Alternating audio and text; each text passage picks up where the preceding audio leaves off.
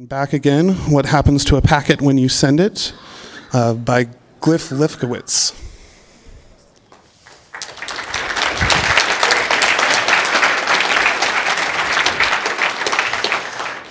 Hi, everybody.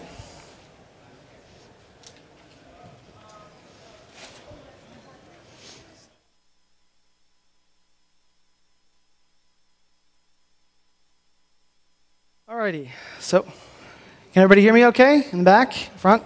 Good? All right. So uh, I'm Glyph. You may know me from uh, such works as the Twisted Framework and more of the Twisted Framework. Um, this is uh, a talk about what happens to a packet when you send it, so I'm here today to tell you what. Uh, first, let me give you a map of the ether. Um, we're going to be taking you through uh, your program, which is just uh, haplessly trying to send some data. Then it has to go through Python, or more specifically, uh, because the prog whole program is presumably in Python, uh, Python's interface to the C library, socketmodule.c. That hands the data off to your kernel. Then your kernel has to shove uh, that stuff into the Ethernet card, which generates electrical impulses to send to a router, which gets sent off to more routers and more routers and uh, so on and so forth until it gets closer to its endpoint, at which point the process goes in reverse. Uh, it arrives as electrical impulses on somebody else's Ethernet card, uh, which tells their kernel, uh, which tells Python, which hopefully delivers the data unmolested to your code. Um, it won't, and I'm going to tell you why. But uh, I'll start by talking about your program. Uh, this entire talk is going to be about this one short program. Uh, I'm only going to talk about transmitting stuff over the internet. That's the AF INET argument. We're not going to transmit stuff over IPX or over Bluetooth. Um, and I'm only going to talk about TCP. That's the sock stream part. Uh, this talk specifically, though, is about how this one short program is a lie. Uh, so we're going to, now we're down here. Uh, socket.send is Python's job. Uh, so this is where we are in the diagram. Uh, when you call socket.send, you probably think it's making a promise to you like this. You send some data, somebody receives the data. That's not what happens, though. Socket.send uh, means that you send some data, then the internet happens to your data. Then, if you're lucky, some of it will get through sometimes. Um, so this is, I'm going to explain what happens to your data in transit and why that's interesting to you. Uh,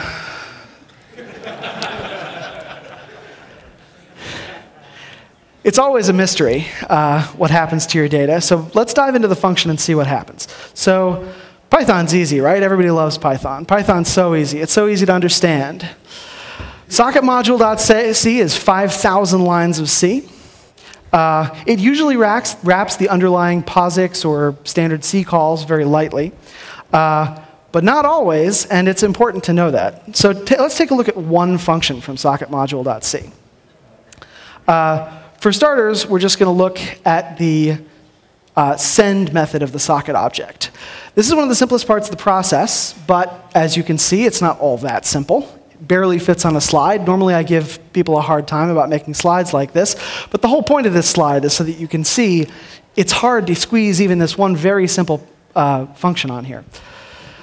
Um, but even in this extremely simple function, there's something you need to be aware of. Uh, send sort of wraps send, but it's got some bonus logic in there. If you specify a timeout on your socket, uh, you're not just calling your operating system send function, you, because send doesn't actually take a timeout in real life, uh, Python will helpfully call a multiplexer for you, like select or poll, and it depends how your Python was compiled, which one it's going to call, and each one gives different error codes, and you know, there's a whole universe of complexity there that you might have to deal with. So if it happens that this socket's not suitable for multiplexing, for example, if your Python is compiled without poll, and the socket number happens to be high enough, you'll get an error. It doesn't really tell you what's going on. Uh, so this is an extra error condition you need to be aware of, and we haven't even tried to send data over the internet yet. This is not even down to send. Uh, of more immediate practical concern, though, is this line here at the bottom, which you probably can't even see at all. Uh, it returns an integer. Socket.send returns an integer. And that's really important because that tells you how many bytes were sent. So let's go back to the original program that I put up. Um, notice how nobody's bothering to track the result of socket.send. Uh, if send didn't send the whole thing, then it didn't get sent. The trick here is that if you want to send all the bytes, you have to do socket.send all instead. However, um, that involves relying on even more code in Python, which doesn't correspond exactly to the particular C library call, uh, which means even more error conditions that you might have to check on, uh, which means even more stuff that you have to be intimately familiar with the details of both Python and your platform's uh, semantics. So, uh, plus, just the fact that you've asked to send all the data doesn't mean that you can send all the data. So you have to check some exceptions and then see, make sure, try again if certain things happen or close the socket. So uh, the next, ooh, my diagrams aren't showing up, I'm sorry. Um, uh, following the send system call on down, though, the next place that we end up is the, uh, the C library. Luckily, nothing really interesting goes on there. It just copies data into the kernel. Um, there's no extra buffers or extra things that you can uh, encounter in terms, terms of errors. Uh, unless you're on Windows, in which case there's some horrible stuff that maps between sockets and handles and windows and window handles, and I don't have nearly enough time to cover that in this talk. So, moving on down. Uh, after Python and libc are done with it, we go down one more layer into the kernel. So there are multiple layers to the kernel itself. Uh, you've got your system call. Your system call puts data into the TCP stack. TCP stack puts data into the Ethernet driver. So the system call is the thing that goes from your program to the kernel. The TCP stack is the thing that keeps track of all the state associated with a socket, and the Ethernet driver is the thing that actually pushes bytes out onto the wire. Um, in order to cover all these layers, I'm going to be talking about representative snippets from Linux 3.2, but the general ideas here should apply pretty much to all operating systems. Uh, a lot of incomplete C snippets are going to be flying by here, so uh, again, slides full of super dense code. Um, hopefully I'm going to advance this slide before you've had an opportunity to finish reading it, but this is a stack trace all the way through the Linux kernel from, at the bottom there, you've got sys socket call, which is the syscall for send in Linux. And then all the way at the top, you've got dev hard start transmit, which is right before you get to a specific Ethernet driver. Uh, so there's a little bit of indirection to get started. Uh, send is the system call. Uh, the system call works its way into the TCP stack. Uh, the top few layers are really doing indirection, where uh, different address families and socket types, such as Bluetooth or Unix sockets, uh, might have different implementations than TCP. Uh, doing esoteric checks that you probably don't care about for security and stuff, so we'll, we'll skip over those layers. Eventually, a syscall on whatever platform you're using boils down to some code like this, something that looks up a function pointer, that, those are little C arrow operators down there, um, in a table that's based on or related to the address family and the type of the socket in question. So this is how we get from, I want to send something to time to send some TCP. Uh, in our case, we only care about TCP sockets, so this is the AF INET sock stream stuff I talked about at the beginning. The TCP implementation uh, in the kernel populates a table full of function pointers when it's initialized. Um, and so your uh, send message member of the uh, TCP prot struct points at TCP send message. TCP send message um, does a bunch of stuff relating to sending the data. This is just a little bit of a snippet uh, to show you one sort of thing that happens in kernel implementations of this stuff. It tries to allocate uh, some memory, and then if it can't, it jumps out and goes somewhere else. Um, again, same function, tries to allocate a page. If it can't, it has to go wait for some memory. Uh, there's multiple kinds of giving up when you're waiting for memory. One is to simply refuse to write all the data that's given, making that integer smaller than the length of the string that you passed in to send. Uh, one is uh, to actually give up completely and raise an error. So you get all kinds of fun error conditions that come out of socket.send and socket.receive. Um, mostly these out-of-memory conditions will pass silently as far as your code is concerned. Um, but the man page for send is illuminating in terms of what kind of surprising conditions and exceptions might be raised. Next layer down, we need to get to the hardware. Um, eventually, the TCP implementation needs to talk to your Ethernet card, and it calls down into the abstract device code. So this ops member here is another struct full of function pointers. That arrow is another place where this indirection is happening because everybody has a different Ethernet card, and your kernel has to figure out which one you're using. Um, again, the specific driver implementation is going to fill out a struct that points at its particular version of each operation that a physical Ethernet card can perform. Uh, this one happens to be from the Marvell driver, just because the, uh, the guy that happened to help me write this talk knew that one. Thanks, Pavel. Um, so, but I would like to take a peek at this one extra function in this struct really quickly. Uh, the open function for this Ethernet driver, which is the thing that gets called when the card is inserted into the machine or at boot, um, when it's first opened, it re requests an IRQ, which is to say it associates a hardware event with a function pointer. And uh, again, in this case, it's Linux specific, it's Marvell specific, but this general principle applies to pretty much any card. Um, most of the stuff in the TCP implementation is just putting some stuff into memory and then waiting until later. And later is when the Ethernet card says, time to do something. And the way it says time to do something is it sends an interrupt to the CPU, the CPU wakes up the kernel and calls this function that's been previously registered. Uh, nothing ever actually happens until the hardware is ready. In other words, nothing actually happens until a network event occurs. You may have heard I like event driven stuff. Uh, but the reason I like event driven stuff is because that's how reality works, and that's what this code is telling you, is that that's what your hardware is actually doing. Uh, now that we're done with the kernel, we're on to the Ethernet card. Um, at this point, hopefully, some electrical impulses come out of the ports on this thing. Uh, alternately, they might come out of your Wi Fi radio, um, which is almost exactly the same, actually. Wi Fi and Ethernet are very, very similar. Um, or your cellular radio, which is close enough. Uh, once you've reached the hardware, some stuff happens. Uh, now, the important thing about this slide is that your Ethernet card has bugs in it. And unlike the bugs in your software, they will never be fixed. You are stuck with them forever, and your kernel is stuck with them forever. Packets just get dropped. Um, your cats might rub against your leg and make you shock your keyboard, and that'll generate too much uh, voltage across a particular lead, and then suddenly your uh, packet gets dropped. Um, so now, having seen a picture of kittens, we're ready to move on to the internet.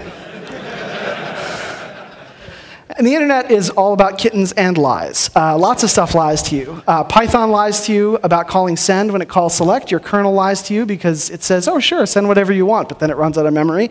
Your hardware lies to you because it's probably full of bugs, but your kernel's papering them all over. And I lie to you. Remember this slide? Well, uh, actually, one of the words on this slide is a lie. It turns out, as far as you're concerned, there is no such thing as a packet. This is a word that's used all over the place in networking literature and conversations. And it means something very specific, and it means something that unless you are an Ethernet engineer or a kernel hacker, you're unlikely to ever interact with. Um, TCP, oops, I'm sorry, TCP sends a stream of bytes. When you put more bytes onto that stream, the only thing that you know is they'll be delivered in some order, in some chunking, uh, they may be received in little pieces. They might be smashed together in big pieces. If you send two pieces, you might get one. If you send one piece, you might get six. You can't know. TCP packets are things with headers on them. Uh, this is the essence of a TCP packet right here, uh, but you don't see any of this information. Your data might be split apart, which is why you need that backslash r backslash n, that CRLF, is to say this is the end of a line, this is the end of a message. Um,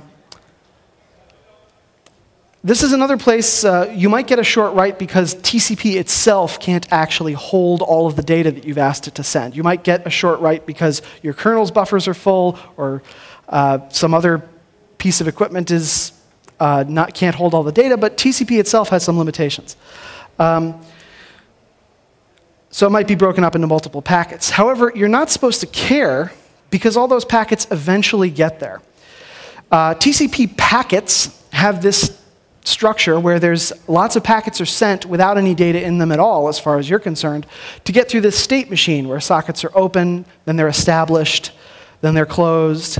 Um, during this whole talk, I am only talking about that state. None of the things that happen in this description happen anywhere except in established. So that's where all the data that you might ever care about gets put on, onto or taken off of the wire. Um, you don't have to write any code to deal with these other states. The kernel will take care of them for you. Um, but packets are sent in all of these other states, or at least most of them. Pieces of information are sent that your application does not see. So when you, when you say packet, please remember it's a TCP thing. When you're sending a chunk of information or some bytes of data, that's part of a stream. The illusion is that when you put some data onto the internet, and you want to get that same data back out, it comes out. But this illusion is only preserved if you abandon, abandon the idea that you're slinging around whole strings and embrace the idea that each underlying byte is a separate entity that might get sent or not sent um, and broken up and reassembled at any point. Now that we've traversed the internet, we're going to come back up through the same machinery. Um, some electrical impulses arrive at the Ethernet card.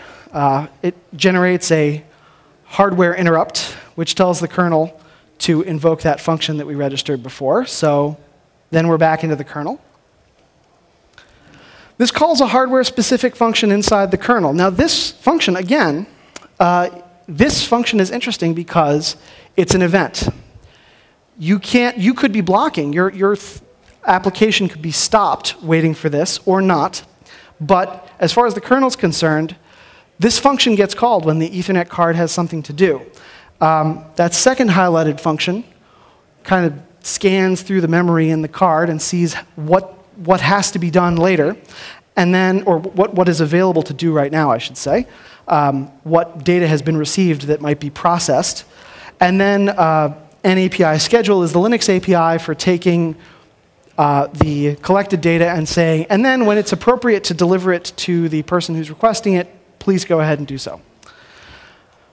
Um, so hopefully somebody's calling receive, and uh, assuming that that application calling receive is a Python application, uh, you'll get right back into socketmodule.c.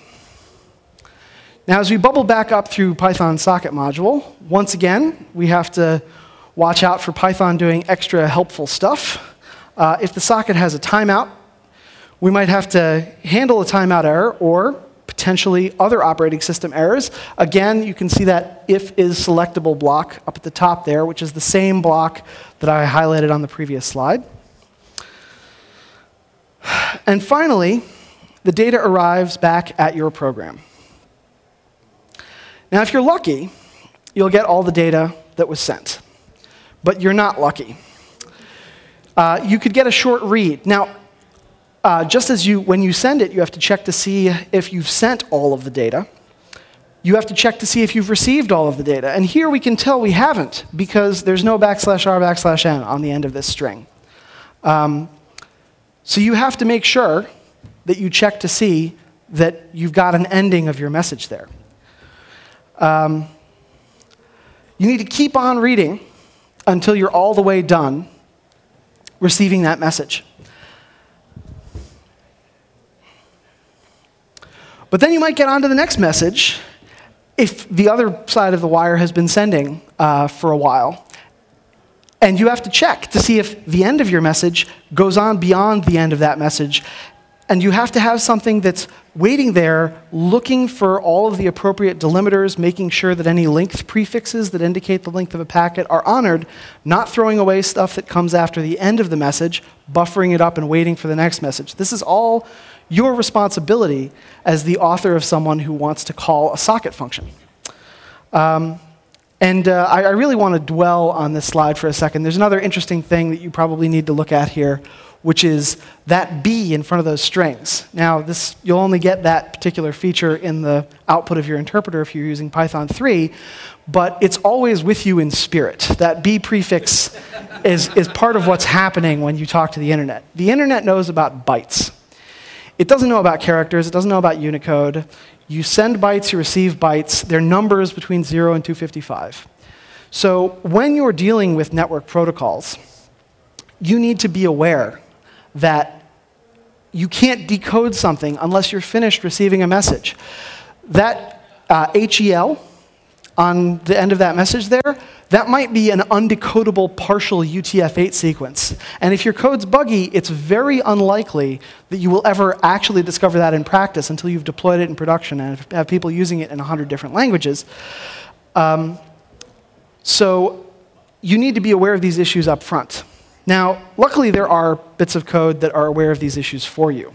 Uh, the real lesson of this talk is that when you send or receive data over the internet, uh, it might be more challenging than you think, and you should really use a library to help you do it. Now, you know which library you should really use.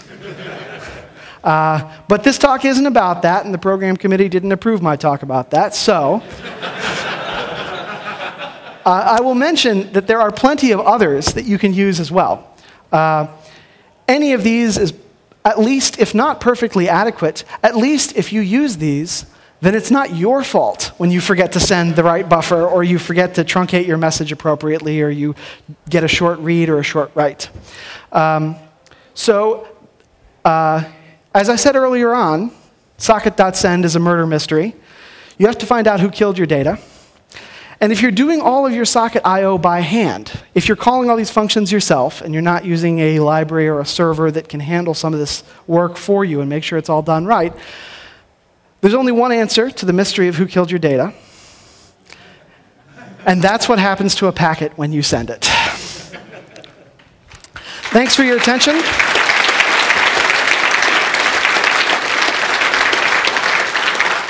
And uh, I really hope that you learned something terrible about networks today. So uh, now I can take questions.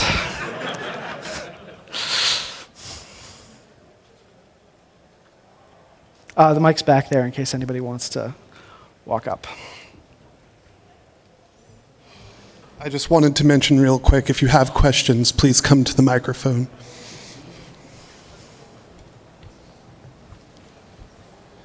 So, this is a question I should probably know the answer to, but it's been like five years since I took an OS class. Um, could you talk a little bit just about like what's going on between the kernel and the Ethernet card, like that how the interrupts and all that kind of stuff. Okay, um, so I, I tried with those slides to give a high level overview. Um, unfortunately, uh, you're right. The, the answer to that question is an operating systems class. But the general idea is uh, your kernel notices you have an Ethernet card, sets up a function to be called when stuff happens to the Ethernet card. Um, and when uh, it's time to write something, when the moons have aligned correctly such that there's buffer space available and there's data ready to send.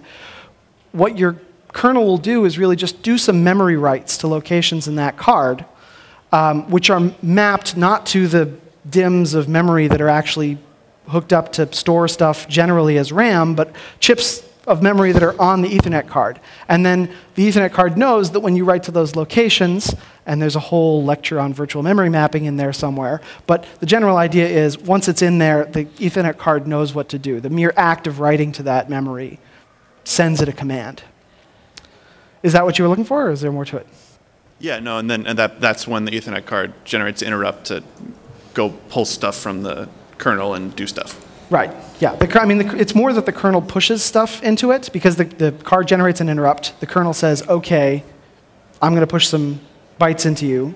Send these as an Ethernet frame," and then later, when bytes arrive again, the, the Ethernet card says, "Okay, now you have some stuff to receive." The kernel reads some bytes from other memory that's been specially marked on that same card. So the Ethernet card is often generating interrupts saying like, "Hey, you can write stuff to me now if you want." Yeah. That's happening yeah. all the time. Generally speaking, that's true. I think at the specific level, the exact signals the Ethernet card is sending, they vary by vendor and they vary by capacity and they vary by the, you know, I mean, they'll, they'll send you signals like, oh, a, a cable was plugged in and it's full duplex gigabit or things like that, which don't really have to do with sending or receiving. So abstractly, yes. Concretely, this is all completely made up and wrong. Awesome, thanks. So you mentioned this uh, earlier at the beginning of the talk. Um, what about uh, if I'm doing networking not on Ethernet, but for example on Bluetooth or any other protocol like that? Uh, Okay, so if you're doing networking on Bluetooth, that is entirely a different address family, which means that those, those header diagrams that I showed you of the, the data that goes into the P- TCP packet, as well as the state machine for what's happening in terms of whether your application thinks a connection is established or not, the semantics are different. Bluetooth has its own specifications that are not TCP. Now, you can do TCP over Bluetooth, but uh, so your Bluetooth radio is kind of doing a different thing just because Bluetooth's a separate spec. Now, when it comes to uh, a GPRS radio or a Wi Fi radio, as, excuse me, as long as TCP is the protocol being spoken, it's generally the same. Okay. So basically, so the the main point of, of what you're trying to say is is that TCP is uh, not necessarily guarantees what you think it guarantees. So once you're aware of that, and if you're using I don't know UDP for example or other th- other protocols, um, you're generally fine if you're doing you know socket programming by yourself. That, that's basically what you're saying. Yeah. Okay. Thanks. I'm just impressed you got through the whole thing without even saying path MTU.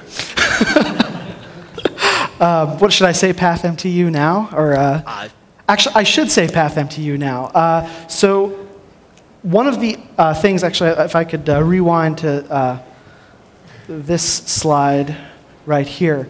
One of the things that I should have mentioned is uh, so the path MTU is the maximum transit unit or maximum transport unit over a particular network path. So if I make a socket connection from here to New York, that has a specific maximum size that I can fit stuff into. That maximum size will never be six bytes. It'll always be somewhere around maybe 500 or 1500, something big enough that if you're typing it in at the interactive interpreter, you will never notice a short write or a short read. You will always get exactly the data that you expect because it always just so happens there's enough space in the buffer because you can't type that fast and you can't send that much data. So you should really be aware you'll never see this. You'll never, if you go and you try it out and say, oh, Glyph doesn't know what he's talking about, of course I got all my data. You won't get all your data if you stick a little times 5,000 on your send.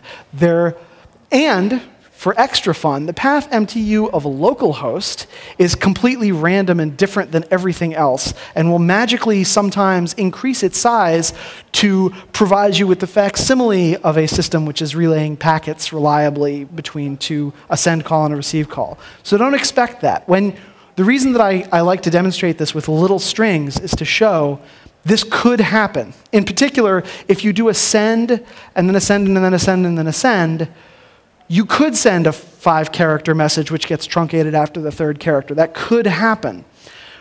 But it won't because you're always sending with an empty buffer when you're trying it interactively. So that's, that's really the main point I wanted to get across here is that at each level, in your kernel, in Python, in, uh, in the network, in your router, in every piece of hardware between you and where you're getting to, something could fail which would cause this to happen. And there are other things that can happen, like receive can raise an exception, but that's the main thing to be aware of, uh, is that you're, you have to have something wh- whose job is to put the data together on its, uh, or break the data apart on its way out and pull the data together on its way in. Any other questions?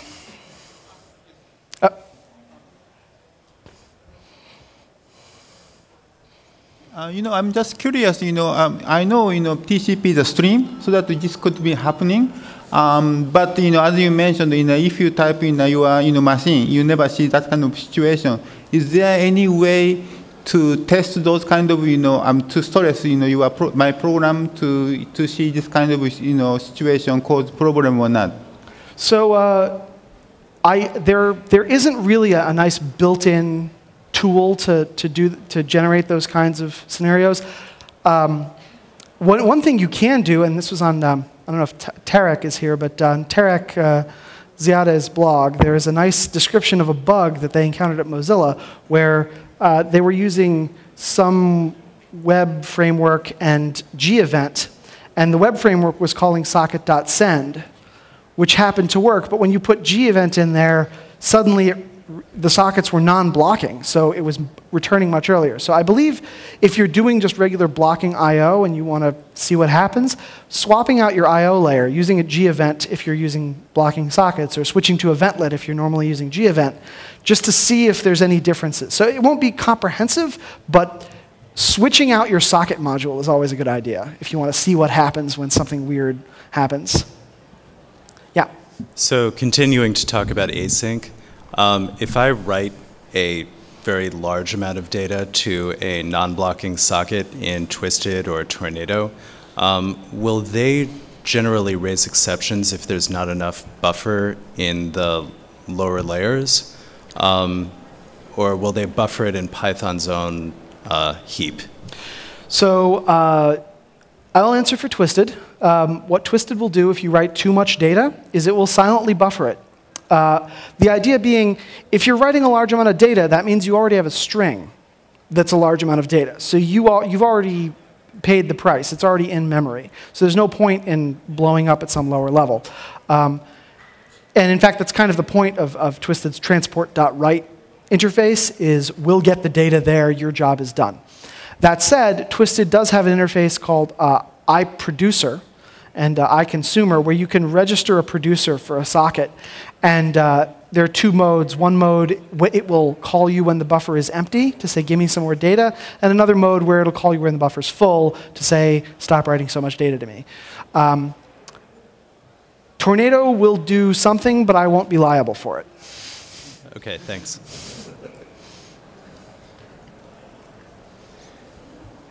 So um, I noticed that you, you didn't mention something. Perhaps it no longer applies. There used to be a, a quirk with certain OSs where writing uh, new lines into a TCP socket would trigger a special kind of flush that would guarantee that you would always be reading on line boundaries from sockets. Um, so I'm not familiar with that feature. I don't know uh, what OSs or versions it affected, if any. But there are fundamental, and I can see some of my friends who know TCP well squinting and, and uh, looking at the ceiling. Uh, there are fundamental limitations to the protocol and to the way that things work that would make that impossible, generally speaking. It might guarantee, in the sense it would make some kind of best effort attempt, but uh, that's not something that you could ever rely on, even, because even if your platform was really rigorous about it for some reason, which doesn't sound like a good idea, uh, you don't know who you're talking to. And so the rules of TCP are all that apply when you're making network connections. So there's never any reason to assume that if your transport only uses lines that are always ended with new lines, that it'll be safe to always read a line every single time? Um, nope, that is not safe. Um, and, uh, and because if you think about it, if your line, if, if the maximum transport unit is a certain size, and your line is bigger than that size, it's going to give up and just deliver however much data it can um, before it sees that new line. So, uh, because there are many protocols that don't use new lines as a delimiter and therefore would not be able to, wouldn't work at all on a platform that actually buffered until that was possible. Um, one more comment though, just on the tornado thing. Um, tornado, one of the reasons that Twisted is awesome is that uh, Tornado and asyncore and many other frameworks of that ilk have a socket module or a socket object which you must communicate with. So they propagate all of the platform semantics and weirdnesses up to you. And I believe that Tornado is the same way. So I think that you might get an exception or you might get a short write or something else might happen is, is the general answer, at least for asyncore, probably also for Tornado. Okay, thank you. Thank you.